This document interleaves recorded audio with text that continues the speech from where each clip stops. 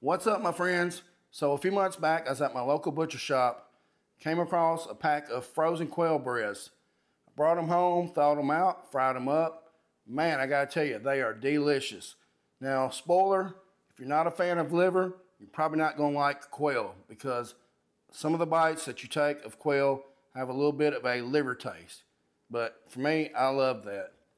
So for the quail, I've thawed it out. I've had it soaking in buttermilk overnight. I would go at least six hours with this sitting in buttermilk. For the dredge or the coating, I'm gonna use a half cup of all-purpose flour. I'm gonna use a quarter cup of cornmeal. And for the seasoning, now you can use any type of Cajun seasoning, blackened seasoning. Me, I like this Nashville hot seasoning. They all have a combination of paprika, onion, garlic powder, salt, maybe even cayenne like this one. So this is what I'm using today. And for deep frying, I'm gonna fry in canola oil. So let's get these breaded and start frying. So we'll go over the dredge amount again. Half cup of all-purpose flour, quarter cup of cornmeal,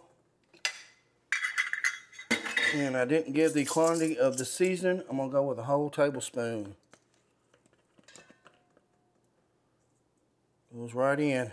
Quail, bet, quail breasts aren't very big, so let me show you what they look like right quick. There you go. One, one little quail breast. All right, so we'll mix my flour, season up, cornmeal. Let the buttermilk, don't want to go too heavy with the buttermilk. Bang some of it off in. We'll press down pretty good. You can press down with your hand.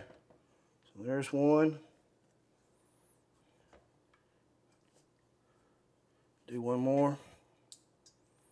Looks like shake some of the excess off in. And try to remember wet hand, dry hand. That way you won't bread your hand. A little bit easier to clean. Give it a little press. All right, I've got four more to do. We'll get this oil heating up and we'll get to frying next.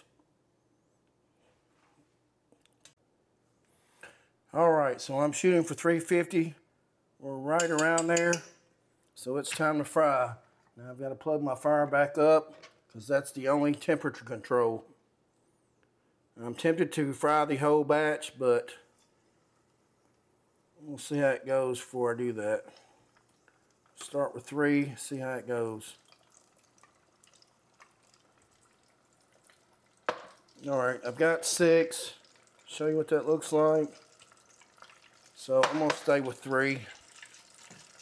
Two fries, not a big deal. Put this plate over so it don't splatter everywhere.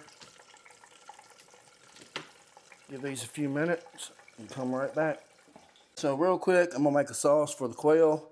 I'm using about three teaspoons of mayonnaise. I'm gonna use about one teaspoon of sriracha. By all means, use as much or as little as you like.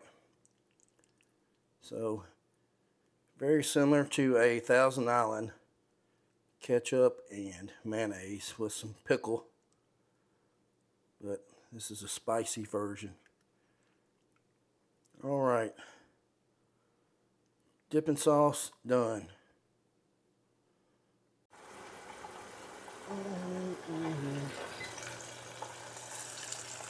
All right, these did a lot of popping, so as you can see, there's some splatters, so be careful. These are floating. They're nice golden brown. Just get them out.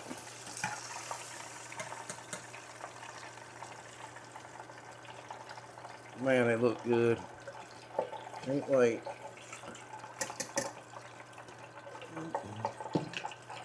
All right.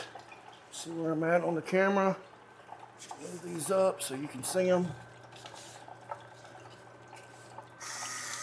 We'll finish them off with pepper.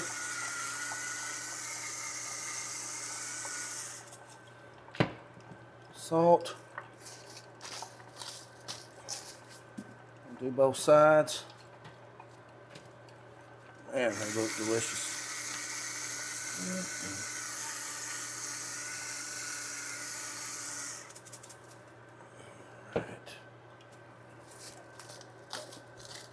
As you can see, some are better.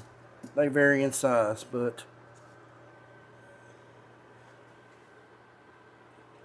yum yum. All right, I got one more batch to do. We'll come back and try them out. All right, next batch ready to come out.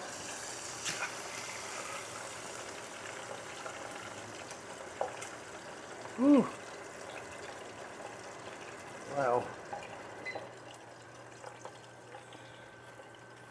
Man, how good do they look?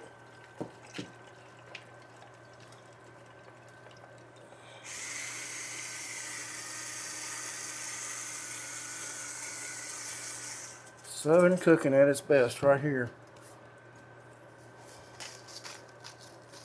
Friends, let's try this out. Can't wait. All right.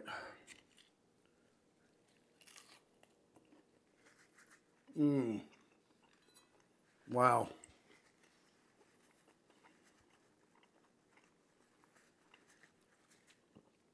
Now I gotta say, when you look at it, it looks like you're eating a country fried steak because the meat is red. But that seasoning's coming through, that, that Nashville hot seasoning. It's a little bit of kick, but I like that. Just a hint of the liver taste that I was talking about. But not as prominent as I've had with another batch.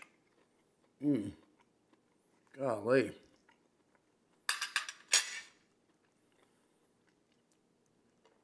Breading's just right, not too much. Let's try this mayonnaise sriracha.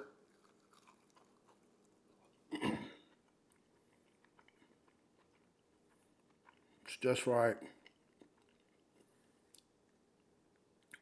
Man. All right.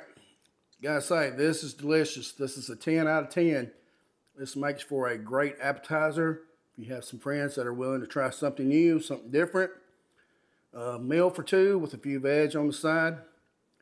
I gotta say, I love it. Can't wait to keep eating it. All right, my friends, I'm gonna wrap it up. And always, I wish you good eating. Mmm. so good.